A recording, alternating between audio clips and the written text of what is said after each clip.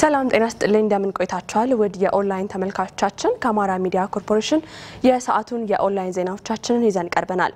ቤተልሔም ገበያው ዜናዎቹን ለእናንተ እያደረስኩ ቆይታ አደርጋለሁ። አብራችሁን ሁኑ። የቡሬ የተቀናጀ አግሮ ኢንዱስትሪያል ፓርክን የኃይል አቅርቦት ችግር ለመፍታት የሚያስችል ተግባር እየተከናወነ መሆኑን የአማራ ክልል ኢንዱስትሪ ፓርኮች ልማት ኮርፖሬሽን አስታወቀ። ኮርፖሬሽኑ የኢንዱስትሪ ፓርኩን የኃይል አቅርቦት ችግር ለመፍታት ግንባታው የተጀመረውን የመብራት ሰብስቴሽን በተያዘለት የግንባታ ጊዜ እንዲጠናቀቅ የባለድርሻ አካላት ሚናቸውን እንዲወጡ የሚያስችል የውይይት መድረክ በቡሬ ከተማ አካሂዷል። የአማራ ክልል ኢንዱስትሪ ፓርኮች ልማት ኮርፖሬሽን ምክትል ዋና ስራ አስፈጻሚ ጋሻ ወርቅነህ ግንባታው የተጠናቀቀው የቡሬ የተቀናጀ አግሮ ኢንዱስትሪያል ፓርክ በቂ የኃይል አቅርቦት አለመኖር ባለሀብቶች ወደ ኢንዱስትሪ ፓርኩ ገብተው እንዳያለሙ ከፍተኛ ተግዳሮት ሆኖ መቆየቱን ተናግረዋል። አሁን ላይ የኢንዱስትሪ ፓርኩን የኃይል አቅርቦት ችግር ይፈታል የተባለለት የመብራት ሰብስቴሽን ግንባታ መጀመሩን ገልጸዋል። ግንባታው ከደብረ ማርቆስ ቡሬ የኃይል ማስተላለፊያ መስመር በመዘርጋት የሚከናወን መሆኑን የገለጹት ምክትል ስራ አስፈጻሚው በሂደቱ የሚያጋጥሙ ችግሮችን ከወዲሁ ለይተው ለመፍታት ባለድርሻ አካላት ኃላፊነታቸውን በአግባቡ ሊወጡ እንደሚገባ አስገንዝበዋል። በተለይም የመስመር ዝርጋታው የሚከናወንባቸው ዞኖች፣ ወረዳዎችና ከተማ አስተዳደሮች የመብራቱ መስመር የሚዘረጋበትን መሬት ከሶስተኛ ወገን ነጻ በማድረግ አስፈላጊውን ዝግጅት እንዲያደርጉ ጠይቀዋል። የትግራይ ዴሞክራሲ ፓርቲ ቲዴፓ በኢትዮጵያ መንግስትና በህወሓት መካከል የተፈጸመውን የሰላም ስምምነት በጸጋ እንደሚቀበለው ገለጸ።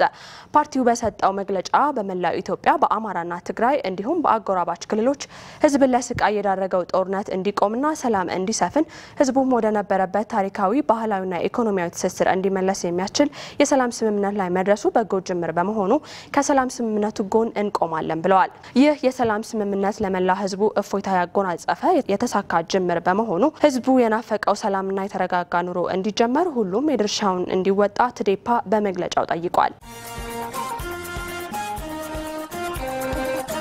የአፍሪካ መሐንዲሶች ሳምንትና የምህንድስና ጉባኤ በሳይንስ ሙዚየም መካሄድ ጀመረ። ስምንተኛው የአፍሪካ የመሐንዲሶች ሳምንትና የአፍሪካ የምህንድስና ጉባኤ በሳይንስ ሙዚየም መካሄድ ጀምሯል።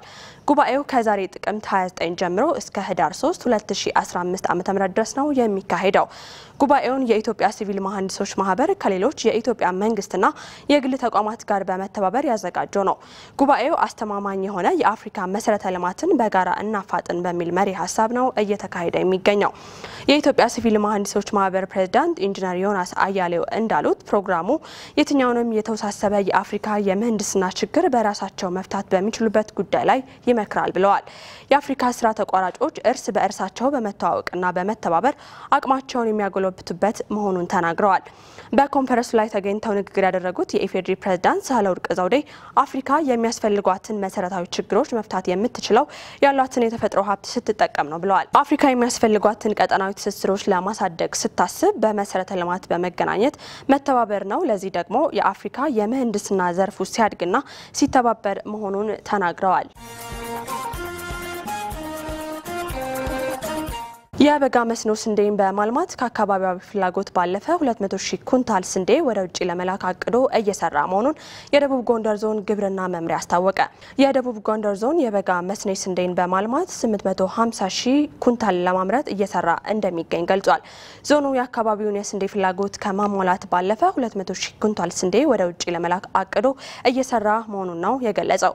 በዞኑ የሚገኙ ወረዳዎች የበጋ መስኖ ስንዴ ማልማት ስራ የተጀመረ ሲሆን በደራ ወረዳ ቆራጣ ቀበሌ እናት እንጀራ በተባለ ተፋሰስ አርሶ አደሮች ስንዴን በኩታ ገጠም ለማልማት በአንድ ቀን ዘርተዋል። የደቡብ ጎንደር ዞን ግብርና መምሪያ ምክትል ኃላፊ ቻላቸው እንግዳው በዞኑ 21400 ሄክታር ማሳን በበጋ መስኖ በማልማት 850 ሺህ ኩንታል ስንዴ ለማምረት ታቅዶ እየተሰራ መሆኑን ገልጸዋል። አርሶ አደሩ በምግብ እህል ራሱን እንዲችል የገበያ ክፍተት እንዲሞላና 200 ሺህ ኩንታል ስንዴ ወደ ውጭ ለመላክ እቅድ መያዙን ያብራሩት አቶ ቻላቸው ይህንን ለማሳካትም መግባባት ላይ ተደርሶ በዞኑ 88 በመቶ የሚሆነው ማሳ ተለይቶ እየተዘራ ነው ብለዋል።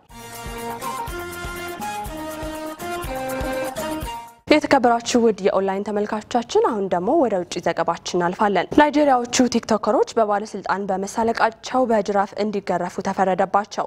በቲክቶክ ማህበራዊ ድረገጽ ዝና ያተረፉት ሁለት ናይጄሪያውያን የመንግስት ባለስልጣናት ተሳልቀዋል በሚል በጅራፍ እንዲገረፉ ፍርድ ቤቱ ወሰነ። በተጨማሪም የገንዘብ ቅጣትና ፍርድ ቤቱንም እንዲያጸዱ ብያኔ ተላልፏል። ሙባረክ ኢሳ መሐመድና መሐመድ ቡላ የተባሉት ግለሰቦች ቲክቶክን በመጠቀም የሰሜን የካኖ ግዛት አስተዳዳሪ አብዱላሂ ጋንዲን ስም በማጠልሸት ጥፋተኛ ሆነው ተገኝተዋል። የግለሰቦቹ ጠበቃ ለውሳኔው ይግባኝ እንደማይሉ አስታውቀዋል።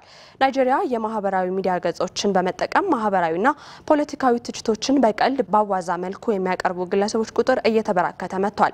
ሙባረክ ኢሳ መሐመድና መሐመድ ባላ አስተዳዳሪው በመሬት ወረራ፣ በሙስናና በስራቸው ላይ ይተኛሉ በሚል በቲክቶክና በፌስቡክ ላይ በጠለፉት ቪዲዮ ተሳልቀዋል። አቃቢ ሕግ ዋዳ አህመድ ዋዳ ግለሰቦቹ የአስተዳዳሪውን ስም አጥፍተዋል፣ እንዲሁም ድርጊታቸው የህዝብን ሰላም ሊያደፈርስ የሚችል ነው ብለዋል። ግለሰቦቹ ጥፋተኝነታቸውን አምነው ምህረት እንዲደረግላቸው ጠይቀዋል። ነገር ግን ዳኛው እያንዳንዳቸው በ20 ግርፋት እንዲቀጡ 20 ፓውንድ እንዲከፍሉና የፍርድ ቤቱንም ግቢ ለ30 ቀናት እንዲያጸዱ አዝዘዋል። በተጨማሪም አስተዳዳሪውን በማህበራዊ ሚዲያ ገጻቸው ላይ በይፋ ይቅርታ እንዲጠይቁ ታዘዋል። ጠበቃቸው ባሽር የሱፍ ለቢቢሲ እንደተናገሩት የተወሰነው ብያኔ እንደማይቃወሙትና ደንበኞቻቸውን እንደማይታሰሩ ተናግረዋል። የተከበራችሁ የኦንላይን ተመልካቾቻችን ከአማራ ሚዲያ ኮርፖሬሽን ለሰዓቱ የያዝናቸው የኦንላይን ዜናዎቻችን እነዚህ ነበሩ። አብራችሁን ስለነበራችሁ እጅግ እናመሰግናለን። በያላችሁበት ጥሩ ጊዜ